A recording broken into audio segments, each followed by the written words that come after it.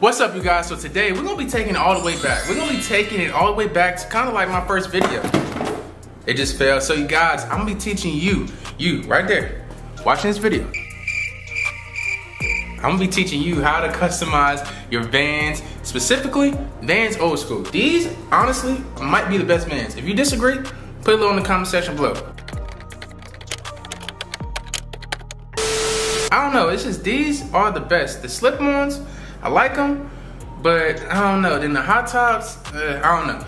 These are the best ones in my opinion. So with all that being said, you guys, to keep it simple. This is for all my beginners out there that are paying shoes. And I love each and every one of you that are doing like that are getting into customized shoes. I'm talking to say that first. That's getting into customized shoes. I love each and every one of y'all. Keep sending me DMs, you know, about what Later that same evening. Talking too much as always.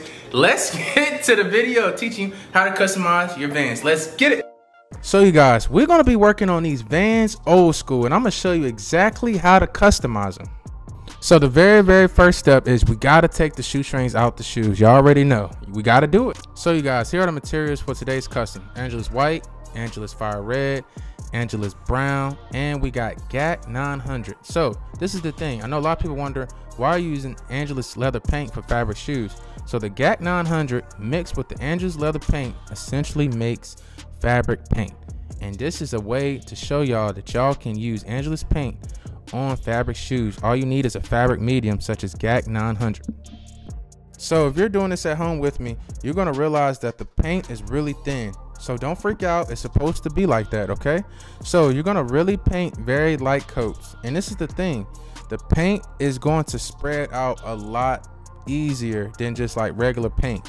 And then after you um you dry off, well I say after you dry off, after you use your heat gun to dry like your light coats, basically you can still feel on there that it's still soft. And that's the thing with the fabric medium. When you're painting fabric and especially if you're selling these shoes to clients you want to make sure the texture stays the same. Make sure it stays the same because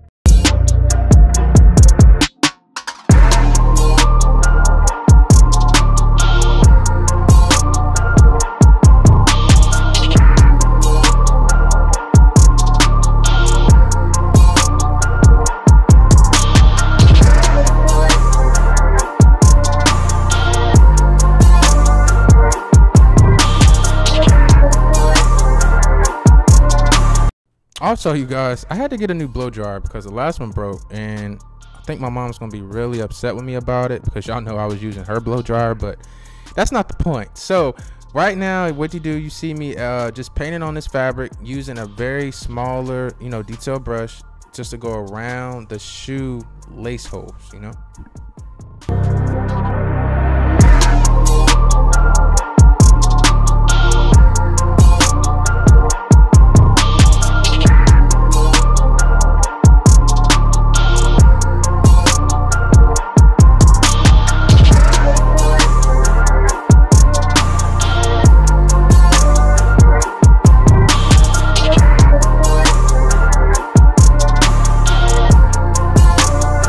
So you guys, let me give y'all a hint. We're going for like a cheetah type vibe custom, you know? And let me tell you about this brown. This brown took forever for me to make. I didn't get I didn't get this straight from Angelus, no. Because as you saw earlier, that was a dark brown. And I needed like a very like almost type of mm, caramel type. No, not caramel. no, not caramel, but a light brown, right? So I was literally looking this stuff up, like how to make this type of brown. And it was so hard because I'm just like, yo, what is going on?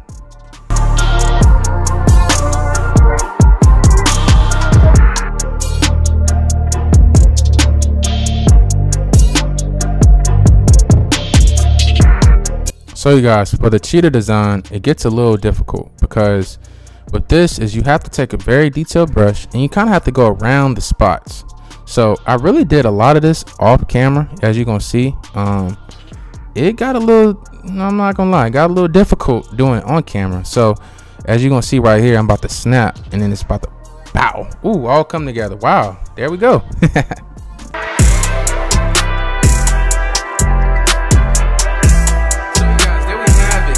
custom Vans, like a cheetah print, right? And I'm actually gonna pull up the picture right here.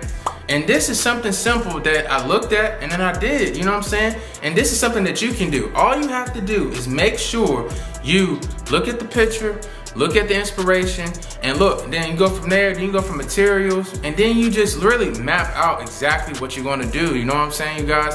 Cheetah print, you know, this came out pretty good. Um, to be honest, probably just need a, a little bit more practice doing it, but I think this is like my second time doing cheetah print. I did on another custom before, but this is like my second time doing it on, no, this is my first time doing it on camera, but this is my second time doing it ever, right? So these came out pretty cool, you guys. And with all that being said, uh, we on the road to 500,000 subscribers. So make sure you subscribe to the channel, turn post notifications on. And also, we're gonna be uploading a lot of videos this week, you guys. I'm trying to say, I think we got three more videos. We got Jordan 1s, we got Crocs, we got Blazers. The road to 500,000. I need y'all to help me get there because I really want to get to 500,000 by the end of the year. So all that being said, this your boy Xavier Kickz. I'm gonna catch y'all next one. Peace.